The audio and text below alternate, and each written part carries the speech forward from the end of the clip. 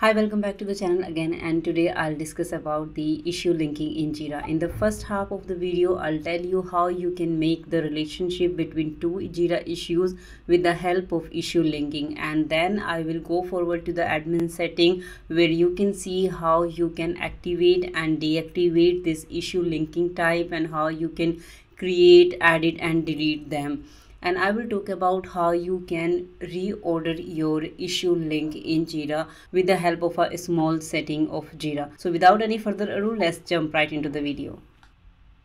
We will come to our Jira Cloud instance. This is my Jira Cloud instance and under this I have a project development. In the development project, I can take any of the issue. Let's suppose I am taking this dev 182 and here I will tell you how you can make the relationship between two issues in just below the summary here you can see I have an option to link issues. When you will click then click on the link issue.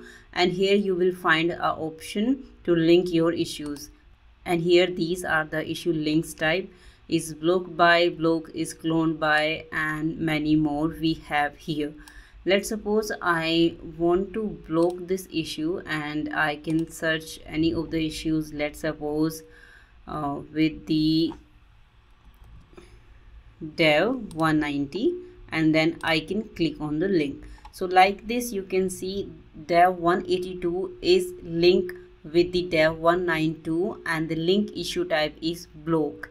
It means this dev 182 will block the dev 190 this is how you can make the relation. And if you want to make more relation then here you can see we have this plus icon. Click on this and you will make the relationship with the other issues let's suppose this particular issue will be blocked by the another issue which is dev 187 something like that and then click on the link. This is the way you can do it. Now we will move to the jira admin setting where you can see about the issue linking like where you can activate and deactivate this and here when you will go to this cog icon and jira setting and click on the issues then in the left sidebar just scroll down and under the issue feature this is a issue linking. You will click and this particular screen will open in my previous video i talked about the time tracking. If you haven't watched that yet then please go and watch it.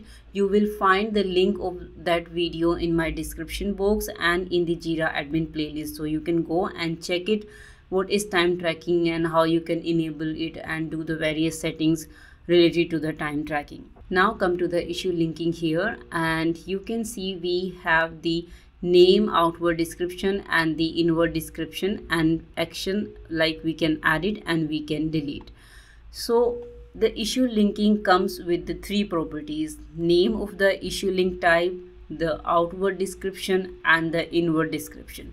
Here you can see we have the outward description and the inward description. So what is the meaning of the inward description and the outward description outward description means how the particular issue will affect the other issues and the inward description means how the other issues will affect that particular issue here I will also suggest you to go through the documentation which is available on the Atlassian Support Center.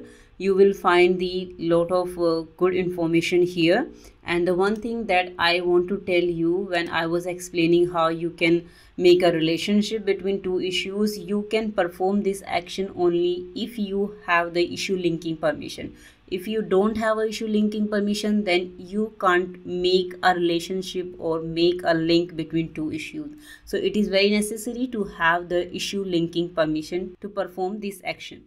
Okay so let's come back here. You can find out where you can uh, check what is the meaning of the outward and the in inward description. As I have already told you uh, what's the meaning of outward and inward description and here you can see the link type comes with the three properties. I have already told you like name outward and the inward description.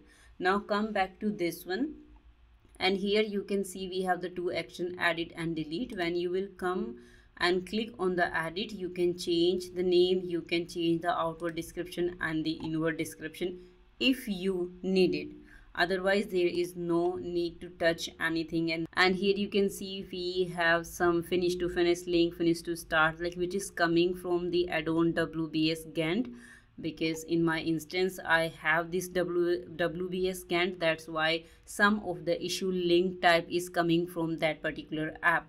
So here you can see and if you want to add a new link type then here you have an option. You can write down the name outward link description and the inward link description and just click on this add button. Like this you can add a new link type. So this is the way you can add new link type. If you want to delete you can. If you want to add it then you can also do with the help of this added action now the one thing that i want to tell you you can change the order of the issue link type also.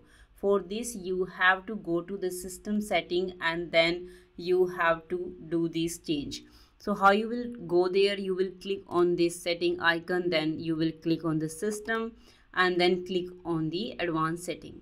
Here when you will search the jira.issue then you can find jira.view.issue links.sort order here.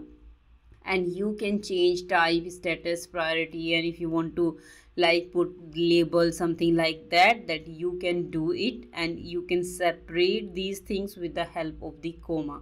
This is how you can change the order of your issue link type that's all about the issue linking in jira. If you are a user then you know how you can make a relationship between two issues. And if you are a jira admin then you know how you can activate deactivate add new link edit and delete those issue link types.